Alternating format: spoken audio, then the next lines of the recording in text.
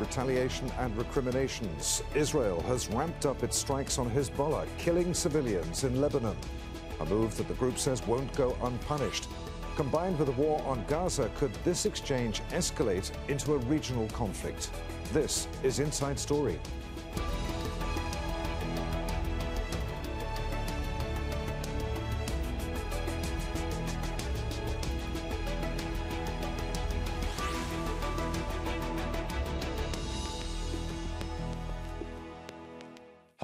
Program. I'm Adrian Finighan. The Israeli military has been exchanging fire with the Lebanese group Hezbollah almost daily since October 7th.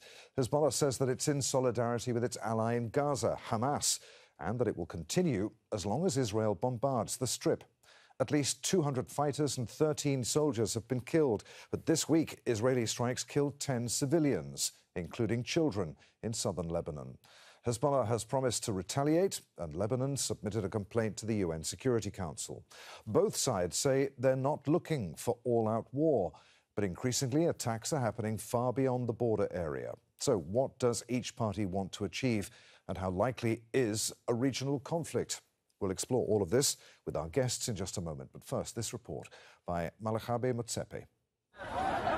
Since Israel launched its war on Gaza four months ago, the army's exchanges with resistance movements in the region have escalated. The conflict between the Israeli military and Hezbollah at the Lebanon border has fled as the group pledged solidarity with Hamas against Israeli aggression. There have been near daily exchanges of fire since October the 7th. Wednesday was the most volatile. Three Hezbollah fighters and at least 10 civilians were killed in southern Lebanon. The group's leader promised Israel would pay. We are fighting in southern Lebanon with our eyes on Gaza. When the aggression stops against Gaza and when the shooting stops in Gaza, we will stop the shooting in the south. The next day, Hezbollah fired rockets towards northern Israel. However, Israeli Defense Minister Yoav Gallant says the country is not looking for full scale conflict. The planes that are flying in Lebanon's sky as we speak have targets, and they know to attack them and how to change their attack from one place to another. We could do a copy paste from Gaza to Beirut, but we don't want to go there. Israel would pay a heavy price, and it would be catastrophic to Lebanon and Hezbollah. The tit for tat attacks have displaced at least 85,000 people on both sides of the border. Those left behind say they live in constant fear of airstrikes. Every day, the Israelis prove they cannot be trusted and that no one is safe near them. They are targeting civilians. To them, there is no difference between military personnel, children, and adults. We heard a loud explosion but didn't know exactly what happened. I thought maybe rockets were launched from here, but then when the ambulances started arriving, we knew there had been a strike. The Israeli military has been accused of using white phosphorus as a weapon, an act that's classified as a war crime. It has also stepped up attacks on Hezbollah operation sites and carried out targeted killings of Hezbollah and Hamas leaders far from the battlefield, raising fears that the war on Gaza and battles on the Lebanon border will lead to larger regional conflict. Malekhabe Modzebe, Al Jazeera for Inside Story.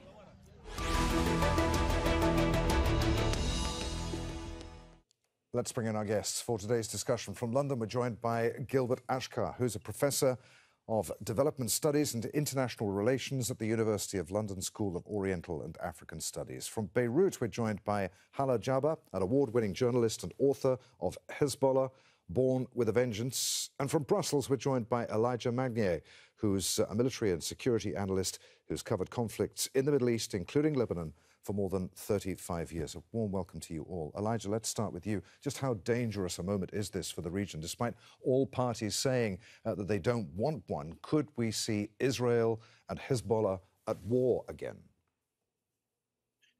It is extremely dangerous because the Middle East is dealing with an Israeli prime minister who is holding to his seat, wants to remain in power, and is determined even at the cost of burning all of Gaza, Lebanon, uh, attack Iraq, Syria, whatever keeps him at war to justify his presence and to dismiss an early election in Israel, he's going to enlarge the war as long as he can and as much as he can. And this is why he is breaking the rules of engagement in Lebanon, and he is trying to provoke Hezbollah into a larger conflict, knowing that Hezbollah wants to establish deterrence. And he is still, yet, despite all his attempt to commit all these bombardments and commit crimes against civilians, he is insisting in continuing the bombardment on Lebanon, and above all, insisting in the war on Gaza that is the key of the solution and the trouble of everything in the Middle East today. Hala, do you agree that this is a particularly dangerous moment for the region? How likely is it that it could escalate? Yes, absolutely. I think we are now at a junction where we, we refer to it or we see it as a tipping point because that's where we are. We are a tipping point. If you had asked us this a month ago, two months ago, it wasn't as bad as it is now. Uh, both sides, we know, uh, in theory, do not want this war. Both sides do not want to wage large scale war on each other. Um, both sides, however, have red lines, um, be it Hezbollah or Israel and um, the escalations in the last uh, the escalation especially um, from israel in the last week is quite uh, cons- uh, considerable and it begs the question as to what they want to achieve from this do they want they're forcing or they're trying to force hezbollah into a large scale war however Hezbollah is playing it um, wiser, if you want. And if we look at both sides, we see that Hezbollah continues to target military um, uh, installations or military targets, whereas in the case of Israel, Israel is actually um, uh, provoking Hezbollah by targeting civilian uh, targets, uh, like we've seen the last few days. There were uh, mothers and children and families that were actually killed. So um, even though uh, they, they, he doesn't want a war, but like Elijah said, um, it is in Netanyahu's interest at the moment to continue in a state of war because as long as he is, um, he will not be ousted and he will not be facing the criminal uh, charges that he has to face later. So he wants to stay on the seat. But like Elijah also said, this is at the risk of burning this region and and and and um, blowing it out maybe out of control by by by by triggering a regional war. Gilbert Achcar, Professor, as you heard there, uh, both sides insist that they don't want a war. Hezbollah, however, has vowed to retaliate for Wednesday's strikes this week. Is there a danger that the situation could accidentally escalate? Uh, I think it would be difficult to, to uh, speak of accidents uh, given the, the uh, extreme state of uh, preparation and awareness of both sides. And uh, they have both all means of self control.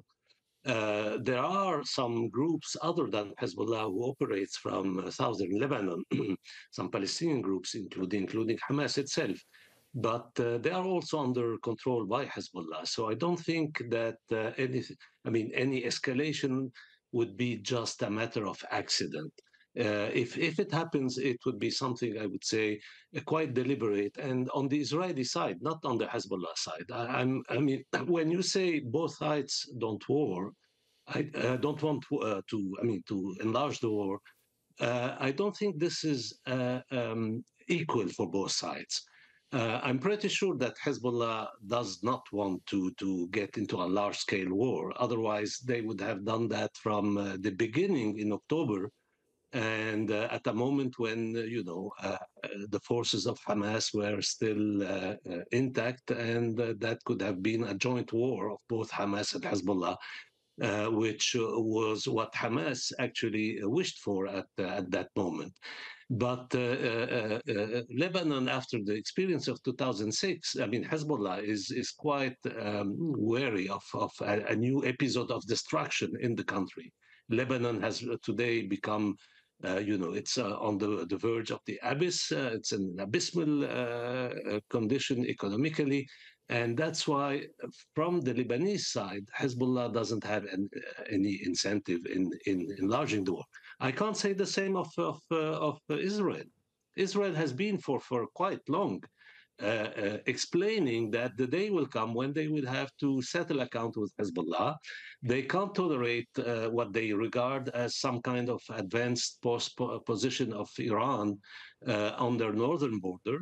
That's how they look at Hezbollah, and uh, and you know, uh, last August, so before Gaza, before October 7th, last August, the, the present uh, uh Ministry of, Def- of Defense, or so-called Defense of Israel, Yoav Gallant, uh, men, uh, threatened to, to turn Lebanon into the back to the Stone Age uh, uh, when he was visiting the, the, the, border area and saw some positions of Hezbollah across the border. Elijah, picking up on, on what you were saying a few moments ago about uh, Prime Minister uh, Netanyahu, is perhaps a, a conflict uh, in the north of, of Israel uh, and the south of, of, Lebanon, or with Lebanon as, as a whole, uh, perhaps part of a, of a strategy surrounding exiting Gaza?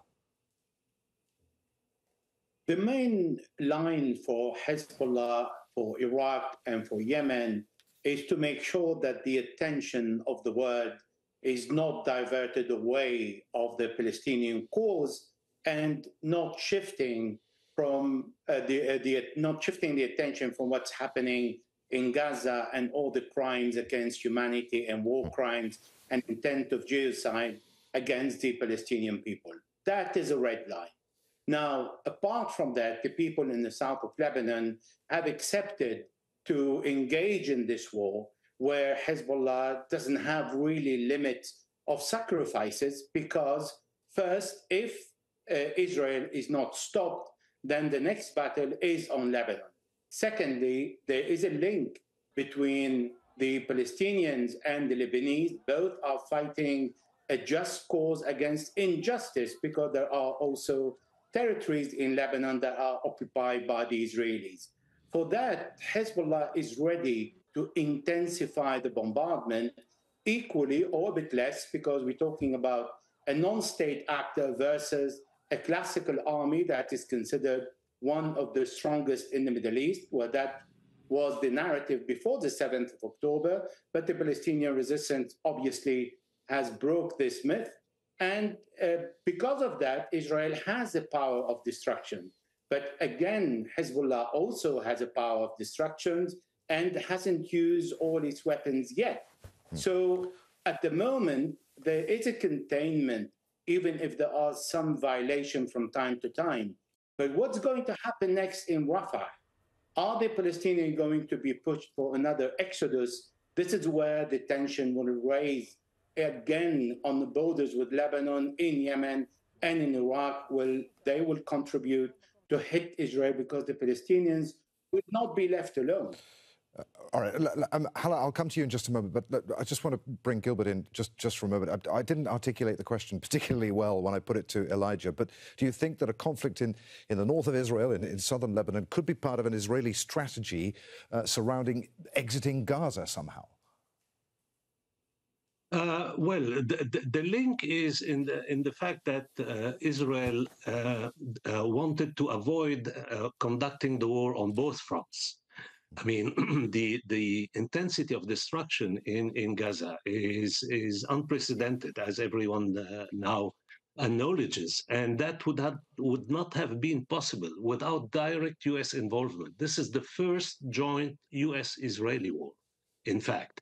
The first war, which uh, the United States completely uh, uh, uh, uh takes part in, approves the, its goals, and organize an air bridge, without which Israel would not have been able to do that. But now, I mean, they so they were uh, busy uh, destroying Gaza, which they set the, the, the, end of the year 23 uh, as a deadline for the intensive, uh, most intensive phase of bombing. And as soon as that ended, so from the 2nd of January, they started the escalation uh, on the Lebanese side with the assassination of uh, Saleh al-Aruri, who is, of course, a Hamas figure, but who, who lived in the, in the midst of the areas controlled by Hezbollah uh, uh, in Lebanon. And we had a series of such escalation uh, starting from, from that point. So, very clearly, from the beginning of that year, um, Israel considered that since the intensive bombing of Gaza uh, is over as a phase and they move to, to what they call lower intensity war there, they, they, they can threaten Lebanon with a uh, with repeating what they did in Gaza. That's exactly what they are doing every day. they are uh, threatening of turning Lebanon into rubble, as they did in Gaza. Okay, Hala, do you want to come back on that before I put a, a, a direct question to you? Yes, I think they are intensifying across the border with Lebanon. However, I don't think yet they've started to intensify to the point of um, reducing to rubble like they've done in Gaza. Um, can they do that in the future? Yes, absolutely. They have the power with the, you know, they they, they have they um, they have the warplanes where Lebanon doesn't have that. Be it Lebanon as in the Lebanese army or Hezbollah as in the resistance Hezbollah, um, um, the non-state actor or the mini army. So they can inflict damage um, with that um, yes, Lebanon would prefer not to go through that, not to see it damaged, not to see it destroyed like 2006. If, if shove comes to push, they will. And the fact of the matter is that uh, for the Lebanese, for many Lebanese, as much as they would hate that, and they're not looking forward to that. They've been there, done that, got t-shirts for it. Sorry to so crass about it. Whereas in Israel, Israel has never been through um, a huge bombardment, and they will get that from Hezbollah. Hezbollah is able to reach um, quite deep into Israel. It has never used it yet because it's always trying to be restrained. But if if if need be, if if um, if um, Israel decides to turn as you know quote unquote the rhetoric that they use into you know the, the the Stone Age, well, yes, Lebanon can also or Hezbollah can also inflict massive damages across Israel, across cities that have never seen war in their life, and they will be hugely impacted by it. So um, I think I think Israel's uh, Israel's intent is always to come back to, to Lebanon and Hezbollah and finalize, or they think they will finalize. That's the last war. But I don't think they're ready. When I say ready, I don't think they want to do it at the same time as uh, uh, the war in Gaza is going. So I think that this escalation, it's um, it's still within a certain geography. It's still within certain rules of of engagement that both seem to understand. Both will incur certain losses. They're allowing for these losses, um, but they don't want to go beyond for the time being. That's not to say that they wouldn't go beyond later. Hala, Lebanon is not Hezbollah. Hezbollah is not Lebanon. Uh, what are the dangers for Hezbollah here in terms of public opinion in uh, Lebanon if the country is somehow dragged into, into a conflict with, with Israel again and targets uh, in, in Beirut, for example, are, are being hit?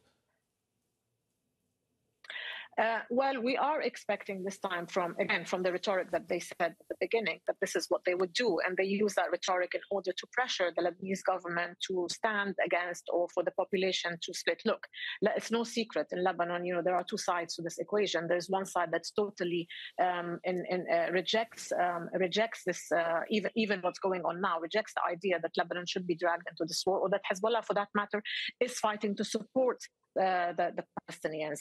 But then you have another sector, which is a huge sector, which are, you know, and we're not just talking about Shiite Lebanese or, or those from the south, we, that also in, include a, a, large sector from the from uh, from the north and from uh, and from the east and from the uh, from the Christian um, uh, side that are if you want allies or an alliance and they accept that this might happen and that they will take the brunt of it. Now, Beirut, yes, Beirut will be, that's what they've said, that they will attack Beirut. Um, I think Sayyid Nasrallah, I think um, he responded to that a few days ago when he had, when he made that last statement and he said, you know, if, if they were pushed into such a war where he has to go into war, then all all um, you know all all these rules, all these pressures will have to be set aside, and he will go into this war without actually um, not without considering anything, but he will do it because he thinks it's the right thing. Um, okay. Lebanon usually in these in these places always sort of um, once the war starts, you would rally, you put your differences aside, and you rally around your your your your other uh, uh, you know the people that are being uh, hit or or where the war is and they will discuss the political disagreements later. Um, if the war is launched on lebanon it's not like any anyone can stop uh, what's coming and no one can stop the fact that lebanon as in hezbollah will have to defend uh, yes, you say uh, Hezbollah is not Lebanon, Lebanon is not Hezbollah, no, but there's a large sector of Lebanon that is Hezbollah and the large sector of Hezbollah that is Lebanon. So, and it is a non-state um, actor in Lebanon, but that's also, we need to be very clear, it's because the Lebanese army has never, ever been allowed to be weaponized as well as Israel in order to defend the country. And this is not in uh, no disrespect to the Lebanese army, but the fact of the matter remains that the United States and these big powers have refused, rejected, and blocked any attempt to um, arm the Lebanese army to such a point where it can actually take on Israel if need be. This has not happened. So the resistance, such as Hezbollah and others, have have um, have were born into this, and um, it's become their job to do that. Hala, uh, uh, let's move on. Elijah, um, do Israel's ongoing strikes in southern Lebanon amount to war crimes? Of course it is, because it's attack against civilians, particularly when uh, uh, Israel attacked the, the, last time in Nabatieh just a couple of days ago. This is a direct attack against civilians and is a uh, sheer provocation to Hezbollah to enlarge the battle. And Hezbollah is extremely sensitive to the assassination or the killing or the target killing of civilians because the Israelis send a special drone with high explosive to target a particular apartment with a family. That is a crime against humanity because it is targeting civilians. Also, Israel has been indiscriminately destroying many houses in the south of Lebanon, burning the uh, uh, valley of Saluki. All that amounts to crime that Israel is uh, accustomed to. This is not something new when you see what they are doing in Gaza and what they have done in the last five wars on Gaza and the 2006 in Lebanon. Because they are unaccountable, they can do that. And I would like to add one other point. The dangerous part is there are many troops on the Lebanese borders, and are uh, the Israelis are gathering more forces. If Hezbollah respond harshly as rightly it has the right to retaliate to the Israelis because they are bombarding, because they are targeting the civilians. What happens if the Israelis lose 20 to 30 soldiers with one of the big rocket of Hezbollah? This is where things that are not calculated can spill over to a larger war. So we're walking really on the edge of the abyss mm. with the determination of Netanyahu to remain in power and provoking further Hezbollah by saying, well, now I start killing the civilians. Now in Nabatieh, as you rightly also suggested, it could go to Beirut, and this is where the war can be enlarged. Gilbert, there's a UN peacekeeping force on the ground in southern Lebanon. What's it doing at this time of heightened tension? I mean, if it, it can't keep the peace, what, what is its role there? Well, they are uh, uh, powerless. I mean, in the face of what is happening, they are just uh, watching and reporting. Uh, this is not a force that has been able to to to to take action uh, for long. And uh, precisely one of the issues that are on the table now in the negotiations led by Washington on the one hand and Paris on the other, in, with regard to Lebanon, uh, the, one of the question is the, the future of, of this uh, UN force and especially uh, a deployment of the Lebanese army, which they would uh, regard as uh, uh, more important than, than just the, the keeping this UN force doing the job. And Security Council Resolution 1701, what does all of this mean for that? Well, that's uh, that's the resolution that was adopted uh, in the wake of the uh, 2006 uh, Israeli war on Lebanon and on Hezbollah, and uh, that uh, included a withdrawal of of of the Hezbollah forces north of the Litani River, which is something like. Uh, 25, 30 kilometers from uh, north of, uh, of the border, and uh, the deployment of the Lebanese army and the uh, United Nations forces uh, in in that uh, in that area. But uh, since then, this uh, this agreement has a kind of um, lost its its reality, mm. and Israel on the one side has been systematically violating uh, this agreement by violating, uh, for instance, the Lebanese airspace and uh, and uh, taking every kind of actions. And uh, therefore, Hezbollah forces have gone back and redeployed in the area, and that has led to this escalation between between the two sides. As as, as I mentioned, uh, the Israeli uh, defense uh, minister last August visiting the border had made the threat that I mentioned. Uh, these threats are being made, but we know that Israel now is also preparing militarily. They are taking uh, every kind of measures uh, for a possible action on Lebanon. I think the key point that uh, uh is now uh, holding them back is the, the fact that um, with the increasing pressure that you have internationally, especially on the issue of Rafah, the invasion the of uh, of Rafah that uh, Israel is uh, poised to to to to do. The, it's that's wouldn't be the moment for Israel, you know, to to engage into another war that wouldn't have the approval of of at least Washington. So that's the key point here. And uh, I mean, there have been talks about Netanyahu, but I think Netanyahu and the whole far right in Israel are very much betting on uh, a comeback of uh, Donald Trump to the presidency of the United States, and that would create for them the ideal condition they would believe into in, engaging into a much larger war that would, in, in, I mean, including striking at Iran most probably. I'm, so, I'm sorry, we're very tight for time. Um, Elijah, I want to put one more question to you. What would be uh, um, uh, the implications of an escalation for the wider region then? You mentioned Iran other, other, earlier. Would other parties be, be drawn in? If so, who? How protract, protracted or otherwise would, would a, uh, an escalation be? Who would win? Uh, the resistance always wins, and the occupier is always defeated. However, there are damages in every war.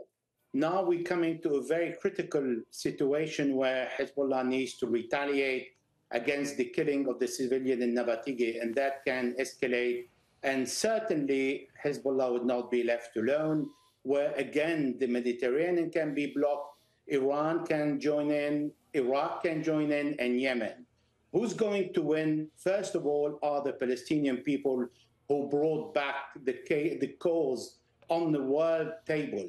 Second, the Israelis losing. The ICJ is on Monday and Israel crime are no longer hidden on anyone. Third, the resistance will always confirm that we will not bow to the Israelis and to all the supporters, even if they are supported by a superpower like the United States and all the spineless European community that is not taking any measure against Israel. So at the end of the day, yes, civilians are paying the price, but the cause is much bigger the cause of Palestine is bigger than Gaza, is bigger than Lebanon, Iraq, Yemen, and Iran. And there we must end it. Many thanks indeed to you all, Elijah Magnier, Hala Jaber, and uh, Gilbert Achcar. Uh, as always, thank you for watching. You can see the program again at any time by going to the website, which is at aljazeera.com. For further discussion, you're welcome to join us on our Facebook page. You'll find that at facebook.com forward slash AJ Inside Story. And you can join the conversation on X, our handle there at AJ Inside Story. From me, Adrian Finighan, and the team here in Doha, I'll see you again. Bye for now.